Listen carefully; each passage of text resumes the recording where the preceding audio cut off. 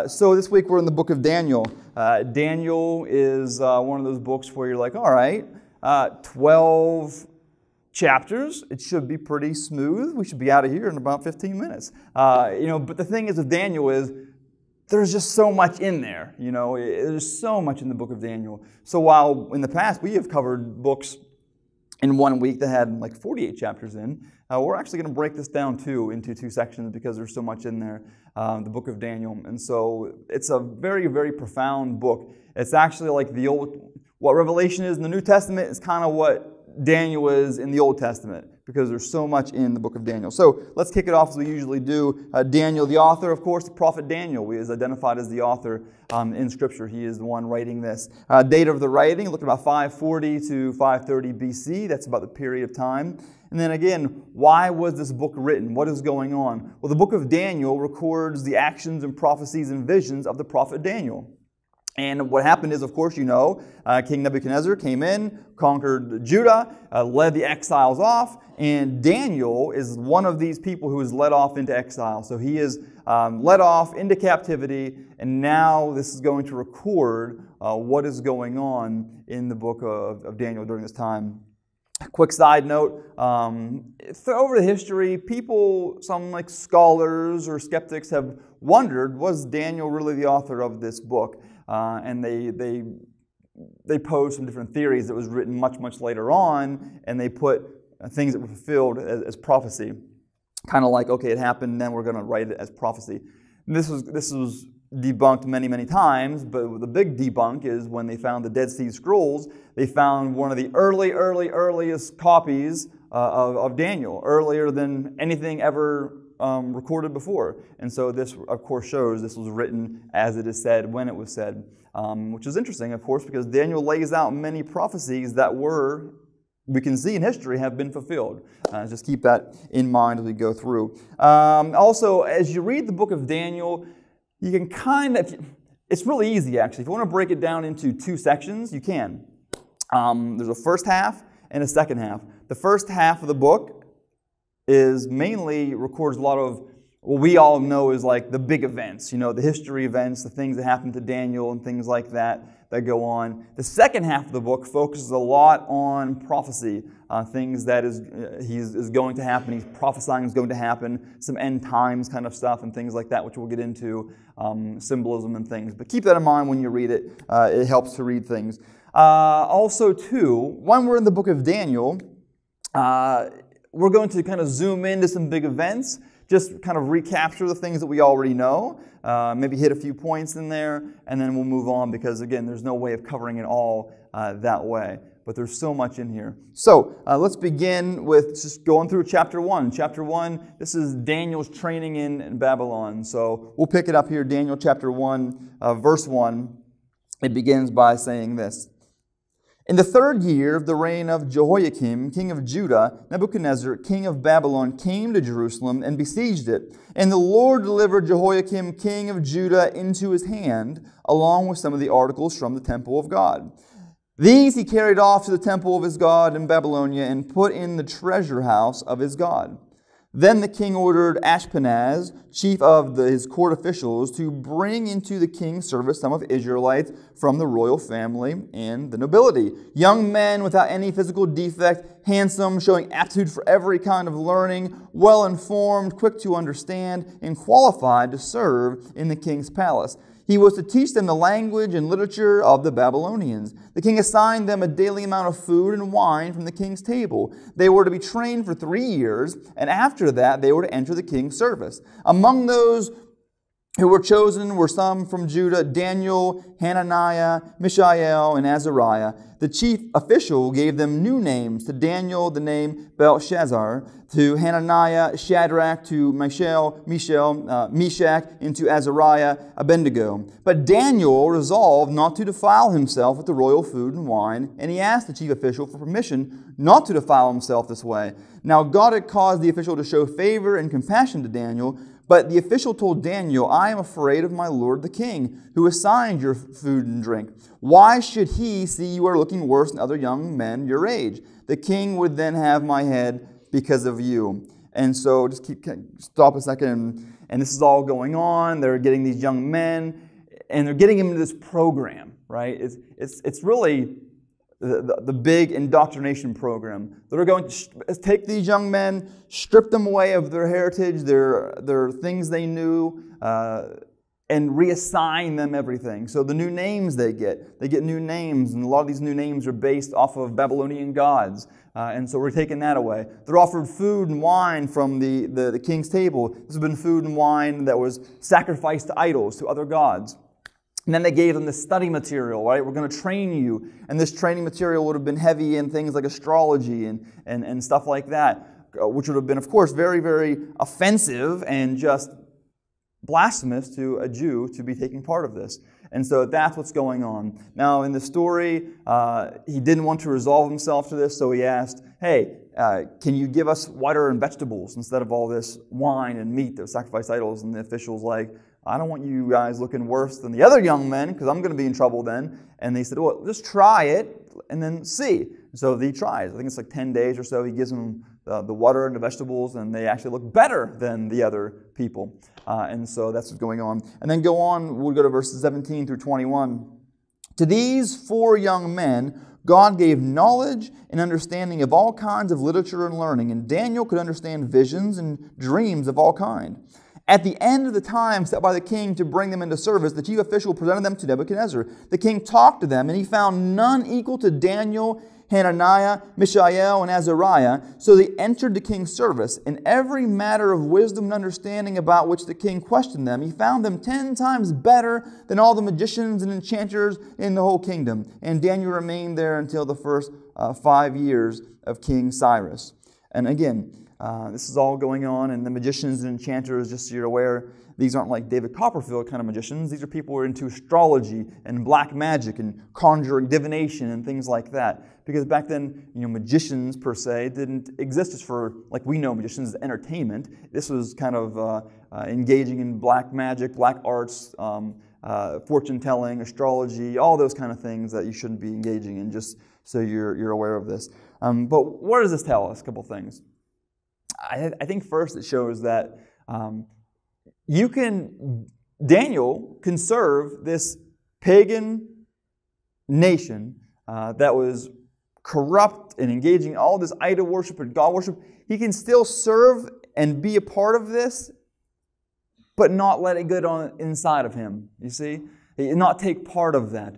And so it wasn't like he just couldn't be in and among or anything like that. He was in there, he was serving, but he had some integrity where he's like, you know what? I'm not going to take part in this kind of stuff. Uh, I, what does culture try to do? Culture tries to do essentially the same thing. They try to indoctrinate you and make you look like them, right? That's, the same thing. Every song you hear, every advertisement you see uh, is geared to one thing, right? Is trying to give you a message. Uh, and so in this, they were trying to do their best to get them into this training program, to strip them away from their, their um, Jewishness and to strip them away from their identity and get them uh, away from the God they worshiped and all of that. And they tried everything by changing the names and by getting them into the, the, the food worship of gods and giving them this really good study material.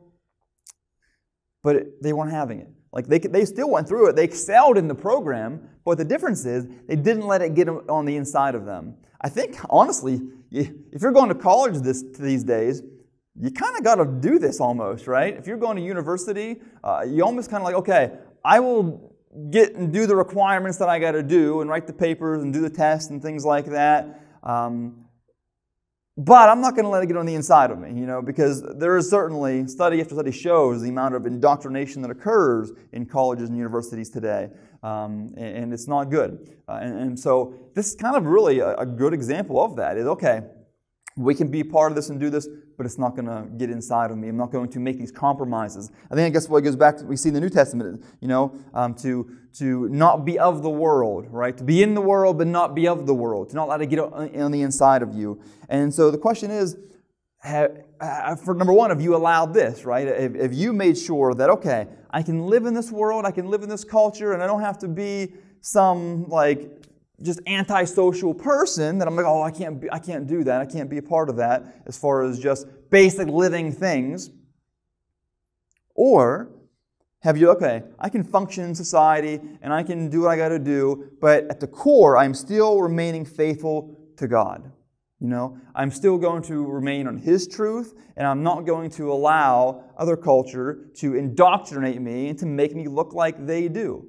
That's what they do. You know, Daniel wasn't going to take on the tone of the pagan nation. He wasn't going to take on all that. He did, what, for the most part, what they wanted, you know, the training program and things like that, and toed the line and was the advisor. But he never stopped being faithful. His core faith was to remaining faithful to God.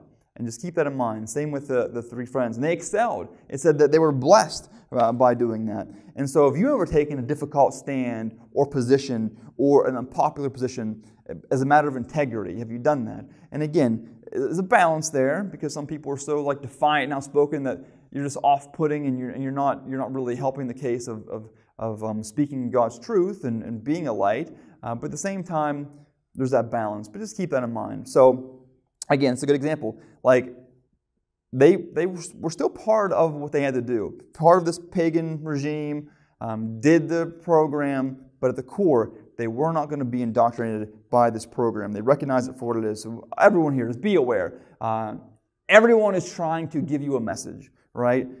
Again, every message, every music song, every movie, every commercial is geared to convey a message uh, what, what are you um, doing with that? Are you being aware of it? Are you, or are you allowing it to get on the inside of you? As Christians, we're to look different than the rest of the world. Uh, not off-putting, not you know self-righteous uh, or anything like that, but just show that we have convictions that we're going to walk and follow and be faithful to God. Uh, chapter 2, we move on. Uh, Nebuchadnezzar has this dream, and so he has this um, very odd dream. So go to ch- chapter 2, verses 1 through 6. We won't read it, um, but essentially, he can't sleep. He has this very troubling dream. He brings all the magicians and the enchanters and all the sorcerers, and he brings them all in, and he says, Tell me the dream, interpret the dream. They're like, Oh, yeah, no problem. But he's like, Wait, there's a catch. He's like, No, no. Um, I don't want you just to interpret the dream. I want you to tell me what my dream was. Well, that, that can be problematic if you're a fraud, you know. I mean, anyone can go in there and give them like some kind of palm reader uh, general interpretation uh, and just kind of like you know the, the fraud stuff and just tell them this is what it means and da da da. You see a lot of fraud people do this kind of. Um actually, modern day magicians have a term. It's called cold reading. It's a, te- a technique that professional like fortune tellers and things often use called cold reading, where you can give these general things and, and probe information and other techniques that you really can convince people that you have this power, um, but they're frauds and, and they're, they're doing this technique. Uh, but, anyways, uh, the problem is, he says, no, no, the king says, tell me what my dream was, and if you don't, I'm going to cut you into pieces, you destroy your houses, your homes, and your family is going to be killed too. Um, and so obviously now there's some panic going on because he, he wants this interpretation and he wants to know them tell him what the dream was. Uh, and they're, what are we going to do? Because they, they can't do that. Well, um, Daniel hears about this and he's, he gets the guys together and say, okay, guys, we better pray. We need to pray because um, we don't want to be killed. I don't want you to be killed. Um, and so we're going to pray right now to see what's going on here. And so now go to Daniel chapter 2, verses 17 through 23. Um, this goes like this. Then Daniel returned to his house and explained the matter to his friends Hananiah, Mishael, and Azariah. He urged them to plead for mercy from God, the God of heaven, concerning this mystery, so that he and his friends might not be executed with the rest of the wise men of Babylon. During the night, the mystery was revealed to Daniel in a vision. Then Daniel praised the God of heaven and said, Praise be to the name of God forever and ever. Wisdom and power his. He changes times and season. He disposes kings and raises up others. He gives wisdom to the wise and knowledge to the discerning. He reveals deep and hidden things. He knows what lies in darkness, and light dwells with him. I thank and praise you, God of my ancestors. You have given me wisdom and power. You have made me no, made known um, to me what we have asked of you. You have made known to us the dream of the king. And so that's pretty impressive right away. Uh, so he, he goes, he appeals to God, facing this very, very dire situation. And then God gives him the dream the king had. he just downloads that. I mean, that's pretty, that's pretty impressive. Uh, and so then go on to verses 36 through 40. He's going to explain to the king what this is all about because it's a very weird dream about this, this big uh, statue and, and, and things like that. And so he says this This is the dream. And now we will interpret it to the king. Your majesty, you are the king of kings. The God of heaven has given you dominion and power and might and glory. In your hands he has placed all mankind and the beasts of the field and the birds in the sky. Wherever they live, he has made you ruler over them. You are that head of gold. Head of gold being the, the head of gold he saw statue in the stream the king saw. After you, another kingdom will rise, inferior to yours. Next, a third kingdom, one of bronze, will rule over the whole earth. Finally, there will be a fourth kingdom, strong as iron, for iron breaks and smashes everything, and as iron breaks things to uh, pieces, so it will crush and break all the others. And again, this is just part of the um, a part of the explanation. If you read the book, he goes into much more detail of, of what was seen in the dream, and uh, essentially he says, okay this dream you dreamt is about these four kingdoms, these, the, these four main kingdoms that are going to come. Um, his, and then you have the uh, other, other three to follow that are going to be, play a big, big role in what's going to happen. Uh, and so, and, and very, very detailed, descriptive stuff, Daniel explains to the king exactly what this king has dreamt. Uh, and ima- can, can you imagine that if someone came up to you and told you in detail the dreams that you had? that would be pretty impressive, I think. You know, I mean, uh, imagine you haven't told anybody, and, you and you're just you're just going about your day, and, and someone comes and tells you this stuff. Um, now, I have had instances where where um, I've known people who has been have been given gifts or, or, what we call a word of knowledge, and they'll be able to tell somebody something that no one else would have known, and it freaks people out. So there are we see those gifts sometimes um, mentioned in the Bible. It's called a word of knowledge. Um, and so that still happens to this day. Uh, so it's not like it, it's not unheard of. I've heard uh, many testimonies of that of people I know and things. So it's kind of a, a wild thing um, to experience, I'm sure. Um, and so then go to verses 46 through 49. Uh, what happens is the king falls down, face down, prostrate, and he, he's just amazed. He offers all these gifts to him. Uh, and then he, he says something very interesting. Uh, he says something very, very interesting. And so he goes to, to this, verse 47. The king said to Daniel, Surely your God is the God of gods and the Lord of kings and revealer of mysteries, for you are able to reveal this mystery. Then the king placed Daniel in a high position, uh, and then as well as his friends. Uh, he, they gave him these, these top positions in the royal court. Uh, and imagine this. I mean, again, um, the Babylonians, they, they valued dreams very much, right? Like, they thought the dream interpreters were something very special, and the, god, the gods spoke to them through these, and so they had all these interpreters and things like that. Like that. Um, but Daniel raises the game that, you know what, I'm not going to play the game of these frauds and the other people that are engaging in this stuff. He tells them specifically, and then now the king is recognizing who the true God is. Chapter 3 now, we see chapter 3 is the image of, of gold and the fiery furnace. You're probably well aware of this. Um, again, we're just trying to touch on these main points to give you uh, some basis for what's going on here in the book. But go to uh, chapter 3, verses 1 through 2. King Nebuchadnezzar made an image of gold, 60 cubits high and 6 cubits wide, and set it up on the plain of Dura in the province of Babylon. He then summoned the satraps, prefects, governors, advisors, treasurers, judges, magistrates, and all other provincial officials to come to the dedication of the image he had set up. And so uh, this king, who is pretty much egomaniac, full of pride, has this big, big statue uh, made, like a skyscraper kind of thing. We're going to come, we're going to bow, we're going to worship to this thing. And real quick side note um, in this culture, these statues, these idols, these gods, all of this were very common. And so it's, it's interesting that uh, that's how God chose to speak to Nebuchadnezzar in these dreams. Uh, he spoke to him in a way that he would understand, right? So when, when Nebuchadnezzar sees these weird dreams of, of these statues and these monuments, uh, I'm sure he, he thinks, oh, another, another God, another monument. What God is this? And so God is, again, speaking a language that they would very much understand. It's weird to us, strange to us. What is this all about? But in a culture, in a place that idols were everywhere, these statues were everywhere, this would speak to them and it would get his intrigue going. But keep that in mind. So, this is what's going on. This happens. Uh, and now, what happens is this. Um, the Shadrach, Meshach, Abednego go to verses, um, is it 13 30? We're still in there? Okay, there they are. Well, they, they, won't, they won't bow down and worship to this, this, this idol, this, this, this, this big god, this, this big statue, rather. Uh, and so the officials go there. They, they pretty much say, you know what, hey, there's these Jews, and they won't, they won't bow down. Uh, and the king is furious. The king is absolutely furious that they will not, they will not do that. Uh, and of course, we know the story.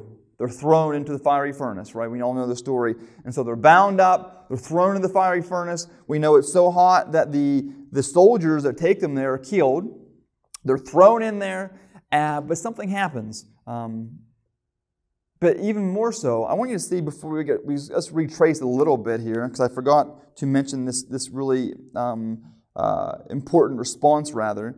But if you go to go to, uh, we're in 12 through 18. We'll just jump down and let's go to verse 13 uh, when he finds out. Furious with rage, Nebuchadnezzar summoned Shadrach, Meshach, and Abednego.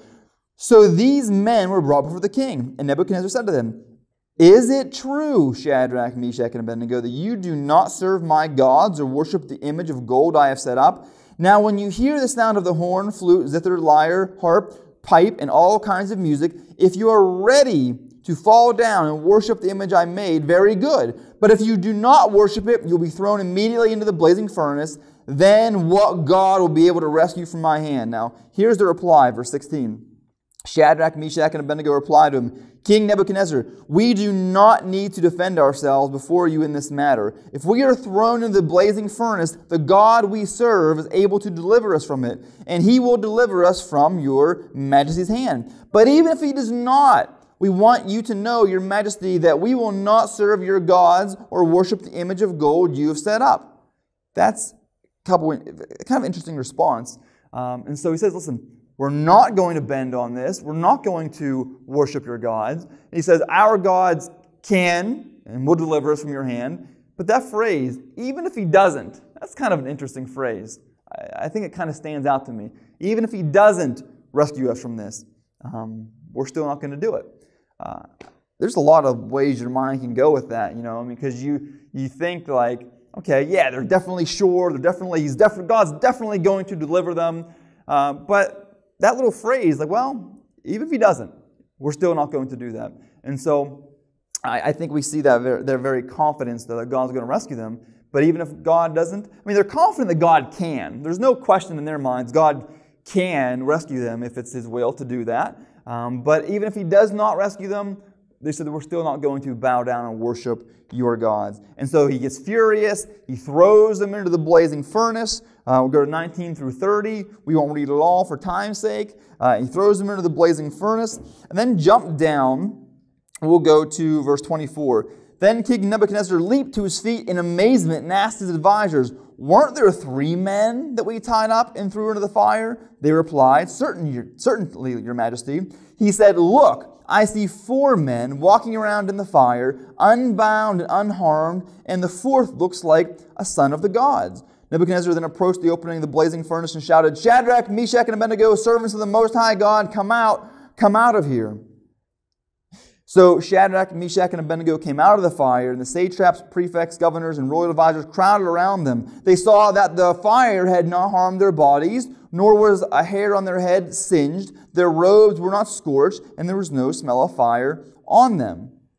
Then Nebuchadnezzar said, Praise be to the God of Shadrach, Meshach, and Abednego, who has sent his angels and rescued his servants. They trusted in him, and he defied the king's commands, and were willing to give up their lives rather than serve or worship any other God except their own God. Therefore, I decree that the people of any nation or language who say anything against the God of Shadrach, Meshach, and Abednego be cut into pieces, and their houses be turned into piles of rubble, for no other God can save in this way. Then the king promoted Shadrach, Meshach, and Abednego in the Proverbs of a province of Babylon.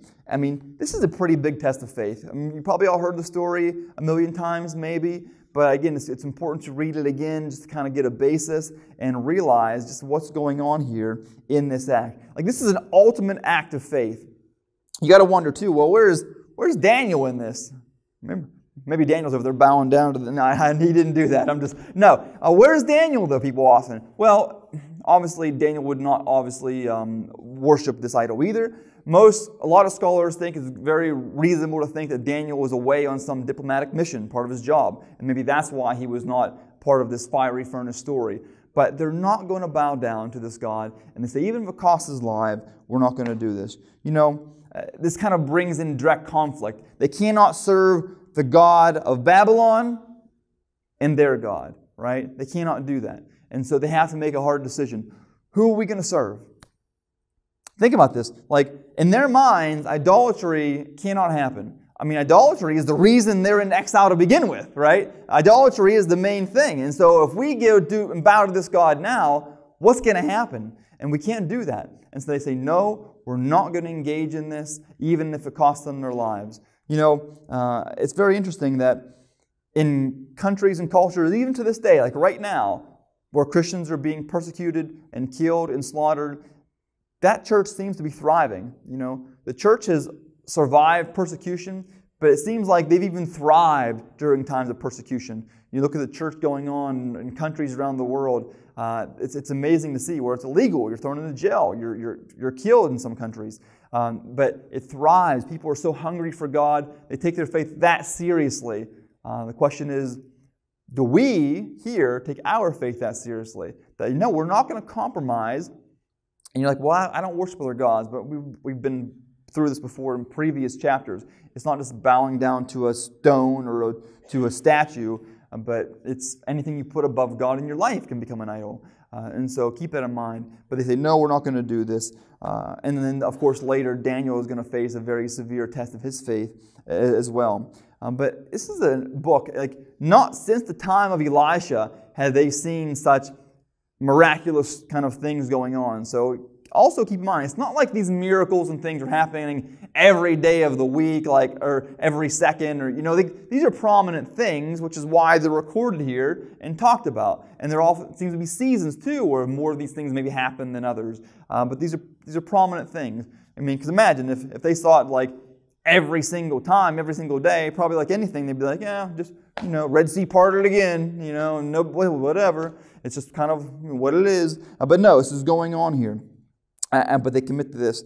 Uh, and so, uh, just quick what do you learn from the faith of these people? What do you learn from how serious they take their faith? What do you learn from how serious they take it? No, I'm not going to compromise and, and bow down. And again, do we compromise in our own lives? What are we compromising in our faith with God? whether it's certain sins we don't want to give up, whether it's certain behaviors we don't want to give up, whether it's the way we treat people, whether it's unforgiveness, whether it's probably the even bigger one for a lot of Christians is, is lukewarmness, just being lukewarm about our faith and, allowing little things, little compromises here and there. You know, well, it doesn't, doesn't matter if I listen to that or watch that or do that. Not that big of a deal. Um, God has bigger things on his radar. And again, I'm not talking about seeing, being some like, holier than thou, holy roller kind of a person. But I'm talking about no, saying, you know what? I want to have integrity. I want to actually live my life because to worship, honor God. And even if I don't think anyone else knows it or sees it, God sees it. God knows it. Uh, and so this is what's going on here that goes on. Now it's even more amazing now that because of this, because of their faith, and God delivers them, now Nebuchadnezzar will treat the Jewish religion and move more tolerance. And he, he actually issues that, that edict that we saw. But keep that in mind. Now go on to chapter 4. Another big prominent thing of, of Nebuchadnezzar has another, another dream, this, this kind of strange dream of a tree. Uh, and so in this dream, essentially, this tree is growing, growing, growing, growing, growing real high. Uh, and then this angelic voice yells down, cut down that tree. The, the tree is chopped down to a stump. Um, and uh, what, what is that all about? Kind of a strange, odd dream. And then Daniel is going to interpret the dream. Go to chapter, uh, chapter 4, 3 through 37. We won't read it all for time's sake, but you can go on through there. And um, so essentially, he talks about okay, this dream is regarding you. You're that tree, you're going to be chopped down. uh, because of your pride, and you're going to be uh, essentially uh, um, go out, live in the wilderness, eat grass, you're going to lose your sanity. I mean, that's kind of a wild thing. And that happens. And so go to, we'll actually read verse 33. Immediately, what had been said about Nebuchadnezzar was fulfilled. He was driven away from his people and ate grass like an ox. His body was drenched with the dew of the heaven until his hair grew like feathers of an eagle and his nails like the claws of a bird. That's kind of um, interesting. Verse 34 At the end of that time, I, Nebuchadnezzar, he's telling this, this story here because he, he, he, put this out in, into the kingdom, uh, raised my eyes towards heaven, and my sanity was restored. Then I praised the Most High. I honored him and glorified him who lives forever. His dominion is an eternal dominion. His kingdom endures from generation to generation. All the people of all the earth are regarded as nothing. He does as he pleases with the powers of heaven and the peoples of the earth. No one can hold back his hand or say to him, What have you done? At the same time, my sanity was restored, my honor and splendor were restored to me for the glory of my kingdom. And we'll, and we'll stop um, right there and jump down to 37. Now I, Nebuchadnezzar, praise and exalt and glorify the King of heaven because everything he does is right and all of his ways are just. And those who walk in pride, he's able to humble. Uh, that's, a, that's a pretty powerful statement from the king. I mean, this guy is the powerhouse nation, has conquered all the powerhouse nations, has it all. I mean, like the, the money and the power. I mean, this, I mean, can, you can't even fathom. Uh, and though here he says, now he's praising the God of heaven. And he says, because everything he does is right and ways are just, is pride, who walk in pride, he's able to humble. Hmm. So, those who are powerful people, like people you know maybe who are like, the most powerful people. Um, do they recognize a higher power? That's an interesting kind of thing to maybe analyze or think about a little bit. Um, and the question is, what could you do to help them see a higher power?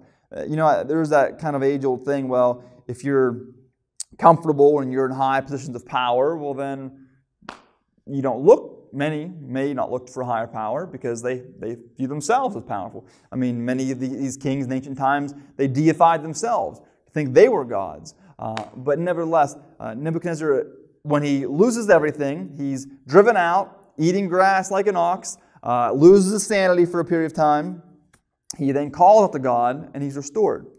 Uh, it recognizes who the true God is and recognizes just, I mean, the Bible is clear. The Bible talks a lot about pride, you know, probably more about pride than a lot of big sins that Christians want to go around and you know preach against. Pride is a big one. Pride and greed are big ones, but a lot of Christians don't want to talk about that because why? Well, because if we're honest, we're probably very prideful. We're probably very greed, greedy. And we don't like that. We want to look at the other things. Well, I'm not that, and so that's the really bad one, but I'm not that. But guess what? One of the things that's the detestable sin, the thing that the Lord hates, is pride, you know? And so pride is something we have to be very, very careful about, that we don't get too prideful, that we think we are so big and important and powerful, and also that we think we don't need God, uh, or that we think that we're, you know, um, some super Christian, that, that God owes us something, and that God just is touting over us, or, or whatever it may be. We're to be humble people, right? And says, because right here, says, God, he recognizes, he says, God is the God who is able to humble. God humbled him. Uh, and that might be a thing that maybe God humbles those who are, you know, pride. The old saying is, right, pride come, come before the fall, kind of a thing.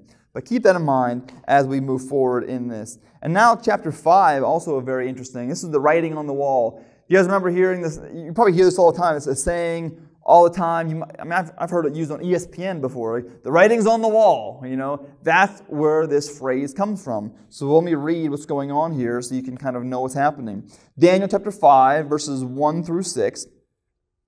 King Belshazzar, uh, or Belshazzar, uh, gave a great banquet for a thousand of his nobles and drank wine with them. While Belshazzar was drinking his wine, he gave orders to bring in the gold and silver goblets that Nebuchadnezzar's father had taken from the temple in Jerusalem, so that the king and his nobles, his wives, and his concubines might drink for them. So they brought in the gold goblets that he had been taken from the temple of God in Jerusalem, and the king and his nobles and his wives, his concubines, drank from them. As they drank the wine, they praised the gods of gold and silver and bronze, iron, wood, and stone Suddenly, fingers of a human hand appeared and wrote on the plaster of the wall near the lampstand in the royal palace. The king watched the hand as it wrote. His face turned pale, and he was so frightened that his legs became weak and his knees were knocking. That's that's a pretty wild scene. I mean, again, can you imagine if that happened right here? That all of a sudden, like you just see this hand and it writes like something over and there's a message. And now I wouldn't say here because you're like, all right, what's Pastor Tim doing? That's the projector. That's some kind of magic trick he's doing. We're not. I'm not playing that game. But imagine you're laying in your bedroom at night, and, and that happens. All right, now you now you might think, hmm, I don't know. I, I, I don't know if I drank something or ate something that's not agreeing with me. Um, but anyways, so they're all seeing this go on because of the, the terrible uh, things that, has been going on. Uh, and now again, uh, Nebuchadnezzar at this point has, has died. This is the son, and his now what's going to happen is uh, the, he's going to want to bring in the people to interpret. Of course, no one can interpret what these words mean or to say. They don't know. The queen then remembers there is this person named Daniel, and Daniel has this gift of interpreting dreams and stuff like that. So they call in Daniel, and uh, he says, "Daniel, if you interpret this, I'm going to give you all these all these gifts and things." And essentially, Daniel says, "You know, keep them. I don't I don't want them, but I will still interpret this for you." And so go to verses 22 through 30. Uh, we won't read all of it for time's sake, uh, but essentially. Uh, Daniel says, okay, uh, your father recognized his fall, and then he, you know he he re- recognized his problem with pride. But then he picks it off the very beginning. He said, "But you, Belshazzar, his son, have not humbled yourself, though you knew all of this." And he goes through all the things that Belshazzar has done, um, and he is guilty of all this. And then the inscription reads this Mene, Mene, Tekel, Parsin. He said, Here's what these words mean. Mene, God has numbered the days of your reign and brought it to an end. Tekel, uh, you have been weighed on the scales and felt wanting. Peres, your kingdom is divided and given to the Medes and the Persians. Then Belshazzar's command, Daniel was clothed in purple, and yada yada, and goes on, all that kind of stuff. And so that happens, though. Two kingdoms, uh, the Medes and the Persians, join forces, and they will overthrow Babylon. Babylon, who is the, the powerhouse of the day. And so that happens. and now, again, um, more things that are going on. And then chapter 6, we know the famous story, of course, of, of Daniel in, in the lion's den. Uh, and so we won't read the whole thing because there's so much in there. But essentially, the people become uh, jealous of him raising in prominence, right? And so these leaders say, okay, we got to plan something so we can get him out of, out of, out of the position. And so we'll read the first few verses. Uh, verse 3 Now Daniel so distinguished himself among the administrators and the satraps by his exceptional qualities that the king's plan to set him over the whole kingdom. At this, the administrators and the satraps tried to find ground for charges against Daniel in his conduct of government affairs, but they were unable to do so. They could find no corruption in him because he was trustworthy and neither corrupt nor negligent. Finally, these men said, We will never find any basis for charges against this man, Daniel, unless it has something to do with the law of his God.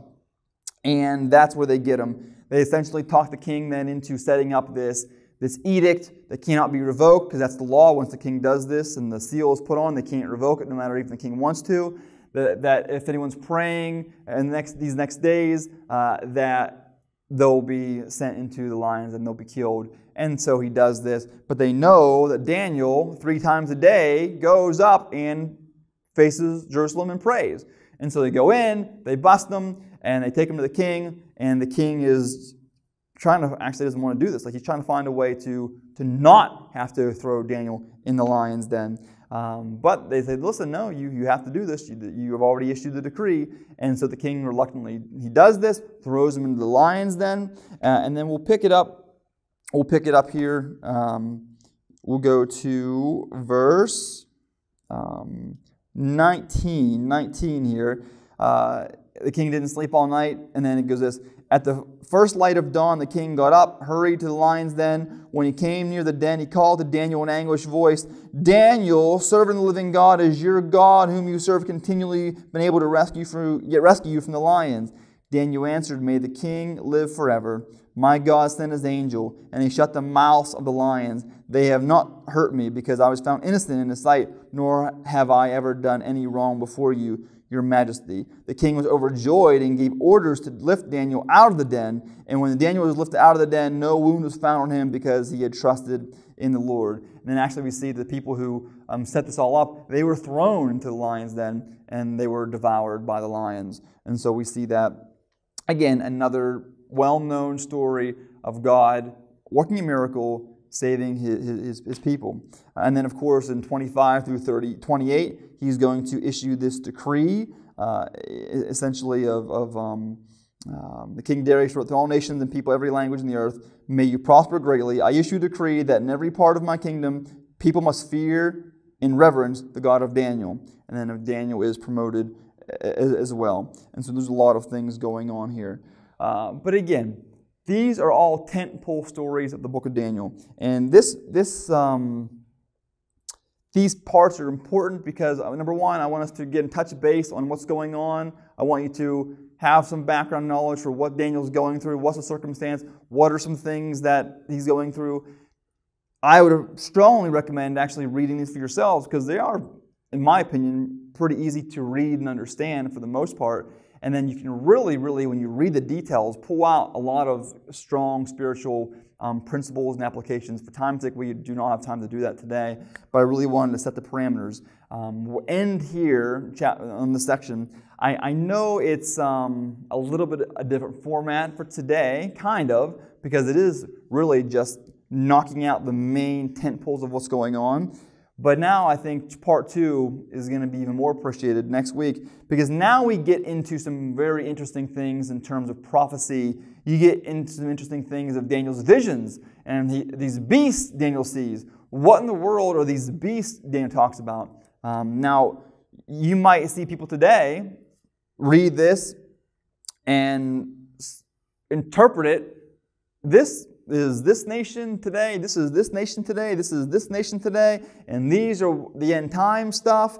Well, if you want to know what all that means, come back next week because we're going to get into it. I got a whole nice chart for you to see exactly what these symbols mean, what uh, countries they are, um, what are they pointing to. And so if you want to know when Jesus is coming back, come back next week. No, I'm just kidding. I'm, not, I'm, not going to do that. I don't know when he's coming back, but you will have a better understanding. I promise you. I, I think you will have an understanding uh, next week because we're really going to delve into it. Because when you read this and you have all these imageries and visions and beasts, you're like, what is all of this all about? And so next week, I, I, I encourage you come back because we're going to talk about this end time stuff and what Daniel's talking about because there's a lot of good things. And also, uh, a lot of things there are some things, too, that you see in the book of Daniel that will really help you, I think, better understand a lot of things in the New Testament, too, regarding the Son of Man that is mentioned and stuff like that. Um, so come back. Let's pray. Father God, we thank you for this day, God. We come before you this day, God, and and just as we go and read the book of Daniel, God, number one is kind of a reminder. We're just reminding ourselves, educating, uh, learning more about your word. We might have heard some of these stories growing up in uh, Sunday school, um, but maybe forgot exactly what was going on, where they were at, uh, or what they mean for us today in terms of being people of faith and resilience and, and resisting the powers that be and not in allowing other people to strip us away of our identity in you and replace it with their stuff. God, we know we too live in a time and a place that very much wants to indoctrinate us with their worldview, their religion, their beliefs, their morality, their actions and behaviors. And God, help us right now to really spend some time in this in your word and realize that we are to resist that.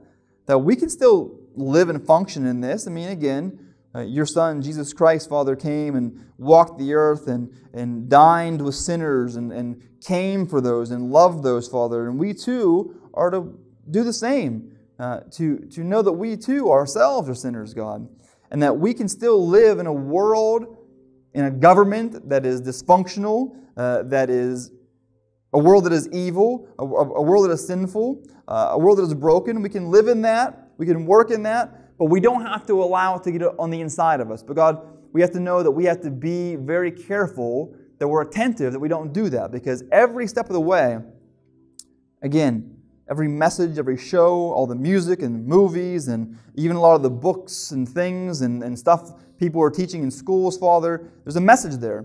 Help us to evaluate that message and say, number one, uh, the message is true, uh, and number two, how does it line up with your word? And God, that we be a people that at the core, we have a, an integrity that we do not compromise, Father, that our main, main goal, our main focus is being a people that are hungry for you, that honor you in every aspect of our lives, and that live out our faith, please you and honor you, God. Guide us and lead us. Let us learn these lessons from Daniel, Father, their mindset, their faith, their resilience, and also the amazing way in which you work. Even speaking to a pagan king in a way that he would find interest, in a way that would make sense once Daniel interpreted it. And we serve a God who is more powerful than we can even imagine, God. Give us strength, wisdom, and knowledge as we go out of this place to be a people with the faith and resilience of Daniel and his friends. We thank you and praise you in your Son. In Jesus' name, amen.